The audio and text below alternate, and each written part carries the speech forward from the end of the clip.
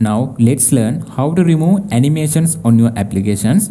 Now I open some applications. You can see a small animation preview. We can remove this animation. Go to your mobile settings.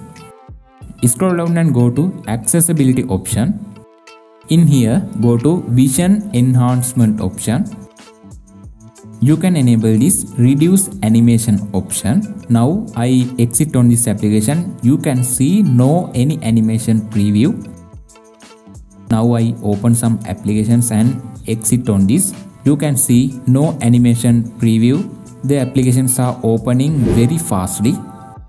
In this method, you can remove your application's animations.